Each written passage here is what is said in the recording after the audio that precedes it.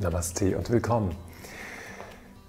Ich möchte mit diesem ersten Video mit euch ein Experiment beschreiten, das uns von der gewohnten Situation, von dem gewohnten Umfeld, in dem wir uns begegneten im Yoga-Studio und gemeinsam die Yoga-Praxis für uns selbst entdecken, äh, dass wir das transformieren in die Online-Welt. Und ich möchte mit euch in den nächsten Tagen und Wochen einen Weg beschreiten, der uns in verschiedene Stationen führt, in der wir versuchen, die Yoga-Praxis, so wie wir sie gekannt haben, als wir uns vor Ort trafen, eben in Online-Videos umzuwandeln. Und diese Stationen, die vor uns liegen, führen uns in ganz verschiedene Aspekte des Äußeren und des Inneren. Also so wie wir das aus der eigenen Yoga-Praxis ja auch immer wieder gekannt haben.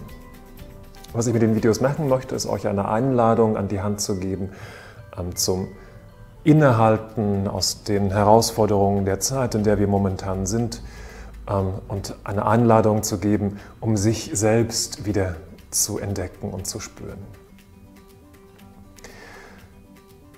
Was kann ich euch geben mit diesem Format? Das ist zum einen ein äußerer Impuls für die eigene Yoga-Praxis. Wir werden verschiedene Aspekte in den Vordergrund bringen, verschiedene Themen bearbeiten in den nächsten Videos und in den nächsten Tagen, die vor uns liegen. Ähm, und ich kann euch von außen Ideen und Handreichungen an die, ähm, ja, an die Hand geben und euch einladen, mitzumachen. Ich werde die Yoga-Praxis selbst auch mit vollziehen, sodass ihr mich als, als Modell nehmen könnt und äh, mitmachen könnt und auch äh, ja, einen Einblick habt, was ich mache und was ich äh, was ich an Ansagen übermittle und an Impulsen übermittle. Ähm, ich kann euch also von außen Ideen und Anregungen an die Hand reichen. Doch was kann dieses Format nicht? Ich sehe dich nicht. Ich blicke im Moment an eine Linse und in eine Kamera und mehr nicht.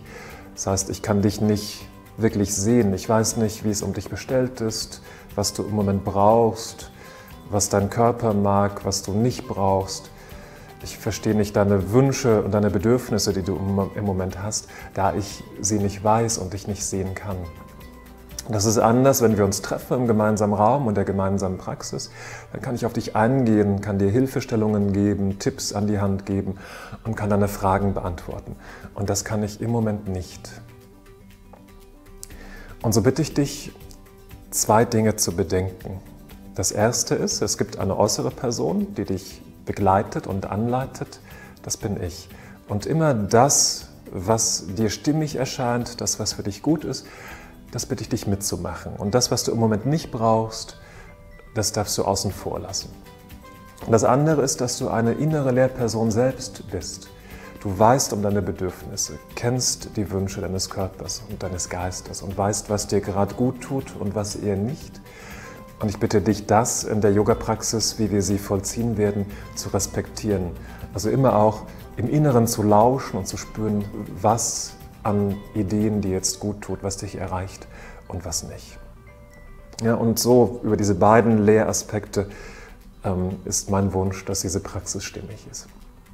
So, und was brauchst du? Eigentlich nur das, was du gewohnt bist, eine Yogamatte für dich zu Hause, die rutschfest ist, die sich nicht zu so sehr dehnt und zieht. Dann brauchst du ein Sitzkissen, auf dem du bequem sitzen kannst und Lust und Laune und einen Wohlfühlraum für dich selbst und natürlich Zeit für dich selbst. Und dann wünsche ich dir und uns ein gutes Gelingen dieses Experimentes. Und ich freue mich drauf. Namaste.